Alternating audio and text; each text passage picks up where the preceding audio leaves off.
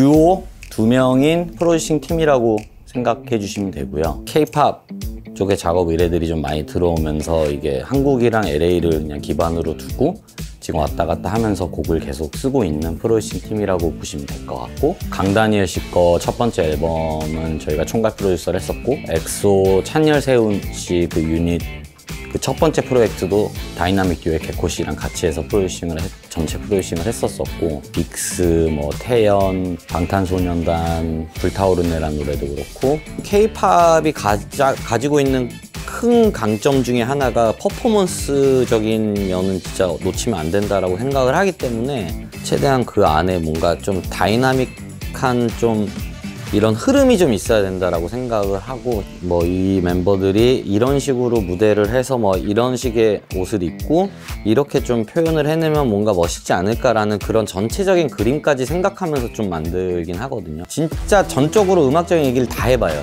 뭐 장르적인 게 뭐가 좋은지 가사는 뭘 하고 싶은지 춤은 어떻게 가고 싶은지 아니면 컨셉을 어떻게 가보고 싶은지에 대한 거를 뭐 기존에 나왔던 이제 뭐 미국 유튜브나 뭐 한국 유튜브들 뭐 이런 영상들을 막 보면서 되게 얘기도 많이 하고 일례로 강다니엘 씨나 찬열 세훈 씨 같은 경우는 애시당초 처음부터 이제 음악적인 얘기를 시작을 하면서 앨범을 기획한 경우들도 있고요. 찬열 씨 같은 경우도 제가 애시당초 처음에 얘가 쉽게 곡 작업을 직접 해보고 싶다라고 했을 때부터 좀 그래도 막 팁도 좀 알려주고 뭐 엑소의 레이 같은 경우도 그렇고 레이 씨도 처음에 곡 쓰고 싶다라고 했을 때 막 레슨도 해줄 정도로 최대한 아티스트 친구들의 의견을 반영하려고 되게 많은 노력을 해요. 왜냐하면 그들 작품이라고 저는 항상 생각을 하기 때문에 그 불타오르네 같은 경우는 뭐 저희 디바인 채널만 쓴 게 아니고 거기 계신 프로듀서 분들하고 같이 협업을 한 케이스고요. 그 멜로디적인 거를 좀 많이 보컬하는 친구랑 해서 같이 작업을 해서 보내드렸을 때 그 중에 이제 이런 좋은 부분들을 이제 쓰셨던 거죠.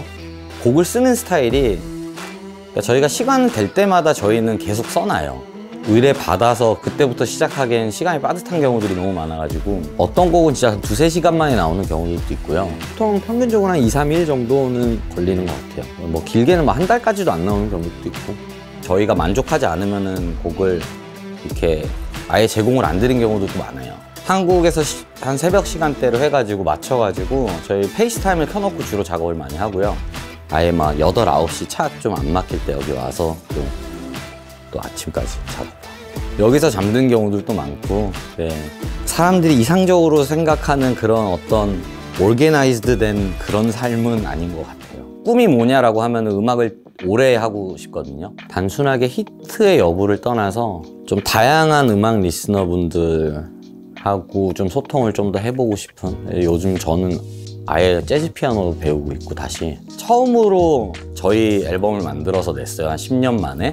그러니까 저희가 항상 다른 아티스트 분들을 위한 곡들만 만들다가 이제 저희가 좀 주인 의식을 갖고 해보자. 뭐 우리가 조금 하고 싶은 대로 그냥 해보자 라는 취지로 이제 By Product라는 앨범을 9월 3일 날 발매를 했었고요. 장르는 힙합이었고 첫 번째 Faded라는 제목의 곡은 엑소의 찬열 씨랑 루피 씨가 피처링을 해주셨고 I ain't got no time for that, you know me.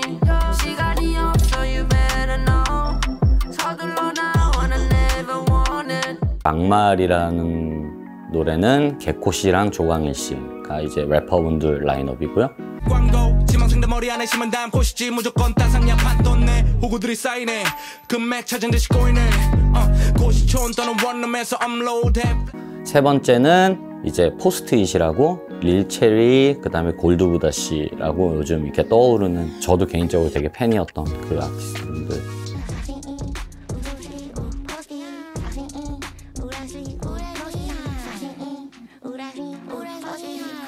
디바인 채널 두 번째 앨범 같은 경우는 노래 위주로 지금 가려고 지금 구상을 하고 있고 또 대단한 아티스트 분하고 하나 또 했기 때문에 좀 기대를 해주셔도 좋을